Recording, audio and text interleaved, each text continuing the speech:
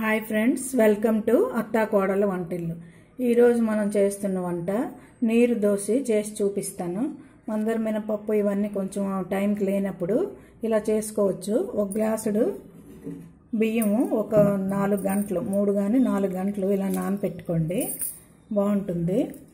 ఒక పావు కొబ్బరి చెప్ప. ఇగోండి కొంచెమే ఎక్కువ కాదు చిన్న ఇంత ఇంత ముక్కలు రెండేసి సరిపోతాయి. అవి ముక్కలు చేసి ఇవి ఒకసారి మిక్సీ చేసి ఇందులో ఈ బియ్యం వేసి మెత్తగా స్మూత్గా పేస్ట్ ఇలా తయారైనట్టు మనం ఇప్పుడు మిక్సీ చేయాలి.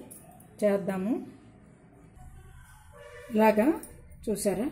కలుపుకో ఇలాగా మిక్సీ చేసుకోవాలి. కొంచెం నీరులాగే ఉండాలి. దీనికి టేస్ట్కి తగినంత సాల్ట్ వేయండి. వేసి ఇది గరిటతో కాకుండా ఇలాగా గిన్నెతోటే వేసుకుంటే బాగుంటుంది.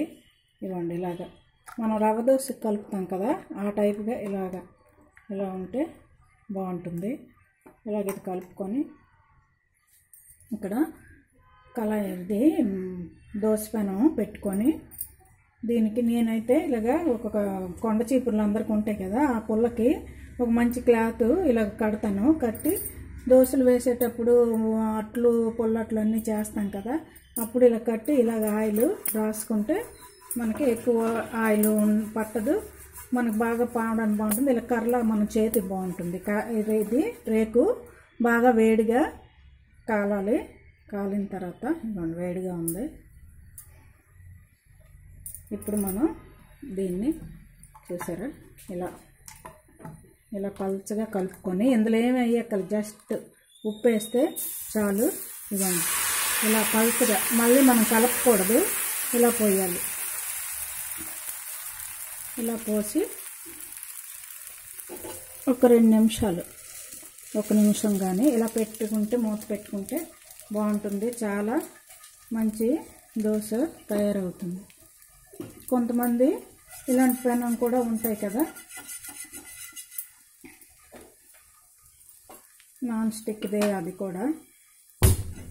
ఇలాంటి పెనం ఉంటే దీనికి కూడా ఇలాగా ఆయిల్ రాసుకొని అంచు ఉన్నట్టు ఉంటాయి కదా పెనాలు అది ఇలాగా ఆయిల్ రాసుకొని ఇది కూడా వేడెక్కుతుంది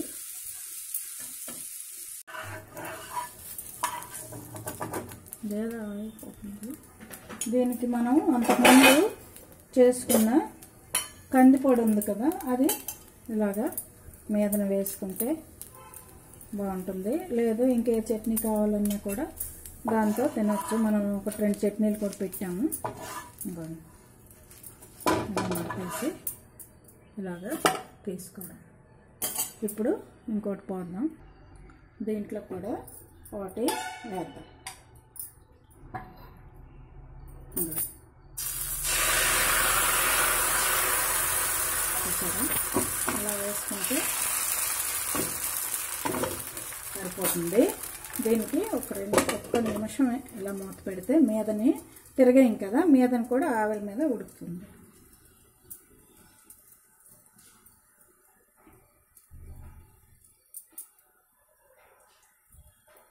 దీనికి ఆయిల్ రాసుకుందాం.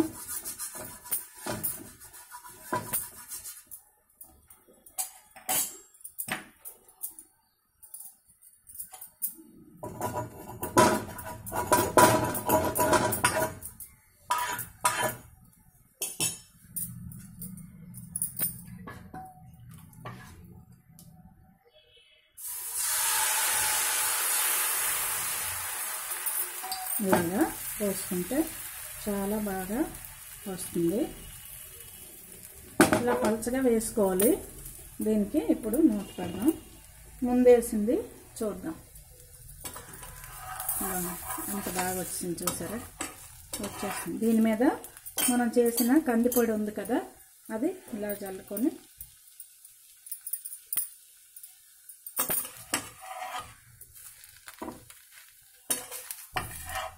ఇది నీరు దోశ అంటారు. రోజు మినప్పప్పు ఇవన్నీ నానబెట్టడానికి బద్ధకంగా ఉండేటప్పుడు ఇలా బియ్యం నానబెడితే మనకి మంచి దోశలు రెడీ అవుతాయి. చూసారు కదా? ఇలా మరొకటి ఇక్కడ వేసాం కదా అది చేద్దాం. ఇది కూడా రెడీ అవుతుంది.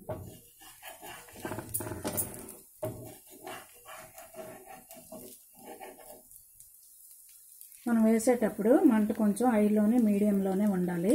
అలాగైతే నీట్గా దోశ వస్తుంది. నీరు దోశలు అంటారు వీటికి. ఎందుకంటే కొంచెం పలచగా కలుపుతాం కదా అందువల్ల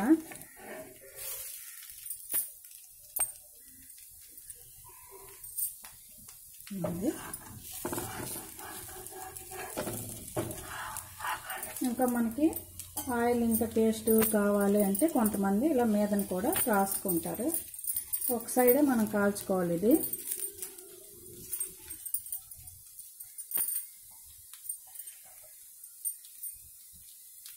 వేరే చట్నీతోటి తినొచ్చు ఇలా కందిపొడి కానీ అవిసె గింజల పొడి కూడా మీకు చూపించాను. అది వేసుకున్న విటమిన్స్ విటమిన్స్ టేస్ట్ ఉంటుంది బాగానే ఉంటుంది.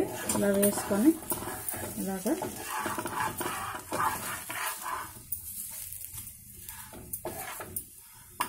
చూసారా? చాలా టేస్ట్గా వెరైటీగా మనకి నీరు దోశ రెడీ అవుతుంది. చూసారు కదా? బాగుందా? దీన్ని నీరు దోశ అంటారు. ఇది ఎప్పుడైనా మనం ఈవినింగ్ అయినా చేసుకోవచ్చు మార్నింగ్ అయినా చేసుకోవచ్చు. పిల్లలకి వెరైటీగా ఉంటుంది టేస్ట్ బాగుంటుంది. కొబ్బరి కూడా వేసాం కదా? మంచి గుడ్ కొలెస్ట్రాల్ వస్తాయి. చూడండి మీరు కూడా ట్రై చేయండి. Okay thank you